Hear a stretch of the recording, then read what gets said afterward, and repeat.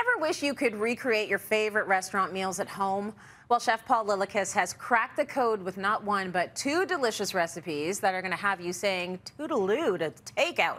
So, Paul, we're going to start with your take on chicken shawarma. I love chicken shawarma. So, let's talk a little bit about this recipe. Okay, yeah. I mean, I'm with you. I love, love, love chicken shawarma. And fun fact, of all the recipes that I've developed and published, I can honestly say this is the most popular recipe. I uploaded it to Instagram and I get nothing but messages about it because I feel like I figured out how to mimic that crispy, craggly, sliced right off the spit chicken that you get in a shawarma shop. And all it takes is using thinly sliced chicken thigh. And don't worry, we're going to drench it in garlicky tahini sauce anyway. Ooh, drenching things in sauce is one of my favorite hobbies. So this recipe is right up my alley. Folks at home, here's a look at what you'll need. This is a good recipe for tonight if you want to go grab these things. All right, Paul, what is our first step? Okay, so the first step is I've already sliced up 12 boneless, skinless chicken thighs, nice and thin. Takes a little time, but that's the first step.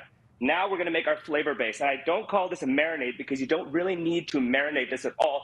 Everything we're adding here is going to go into the pan. So a little bit of canola oil, some sodium reduced soy sauce, some brown sugar for sweetness that will also help with caramelization, which is the most important thing here, some white vinegar for acidity, and our spices. So I've got some ground coriander, freshly ground if you can, nice citrusy notes, a little bit of cumin, a little bit of red chili flake, and I'm adding a little bit of sea salt, two cloves of minced garlic. And that's all that goes into this. And I just want to mix it up until it's completely dissolved. Until that sugar is dissolved, things are well mixed, but you don't need to mix it too long because, like I said, everything gets cooked together.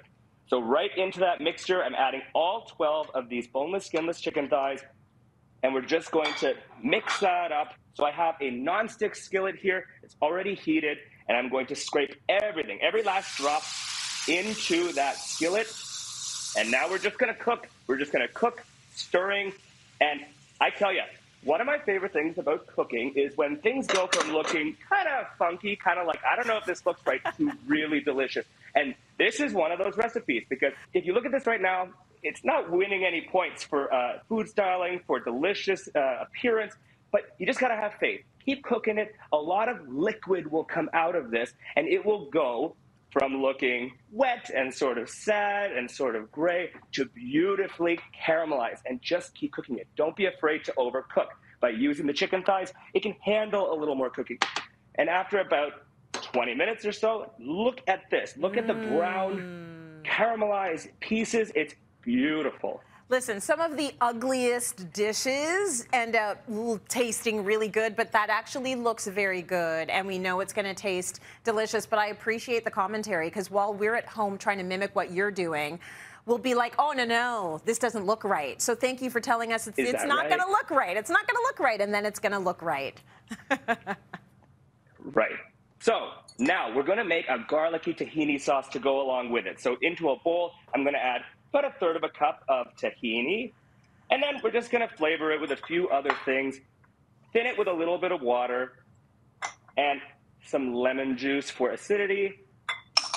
And again, some garlic. This recipe doubles down on the garlic. Two cloves of minced garlic, pinch of salt, and a little bit of mayonnaise just for added richness. And now all you have to do is whisk this together and it makes a sauce for you. And you might have to thin it with a little bit more water. That's totally up to you. It will also thicken in the fridge. So I've got some whole wheat pita here. I'm going to add some beautiful cherry tomatoes right on the vine like that.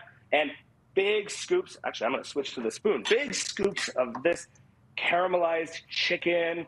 And then, of course, you need some parsley and some onion. So I'm using curly parsley mm-hmm. and lots of it, just like that.